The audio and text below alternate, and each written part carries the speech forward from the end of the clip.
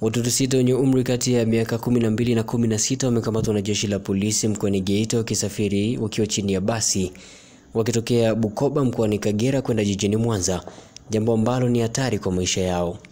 Watoto hao wanadai kuishi kwenye kituo cha mabasi Bukoba mjini. Wamedai walazimika kusafiri wakiwa chini ya gari ili waweze kufika Mwanza ambako wanadhani kuna unafuu wa maisha ikilinganishwa na Bukoba. Wakizungumza kwa nyakati tofauti leo Februari 7, 2023 wakiwa kituo cha polisi Geita, wamedai kwamba waliingia kwenye basi la Happy Nation saa tatu usiku Kama alivyofariki nikaacha shule nikaenda kuwa naishi kwa bibi.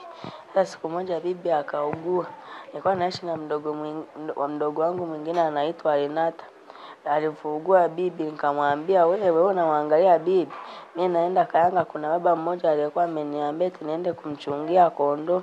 ndo nikaona mtoto wa mjomba anaitwa Ino. Yeye alikuwa anakaa yani alikuwa anakaa mtaani pale maeneo ya stendi ya Bukoba pale.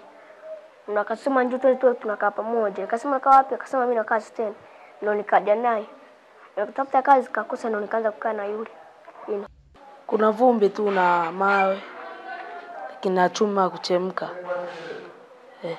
Kwa ile chuma huwa inaumiza au unaona kawaida?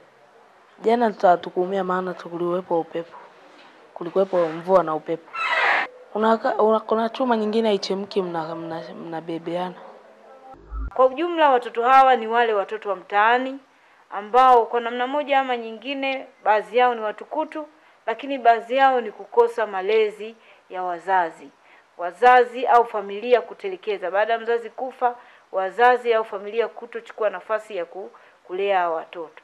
Kwa wale ambao wazazi wao wako hai, wazazi tutawachukulia hatua kwa kushindwa kuwa- kuwatunza watoto wao, kama ambavyo tumewaona watoto wote wako chini ya miaka kumi na nane.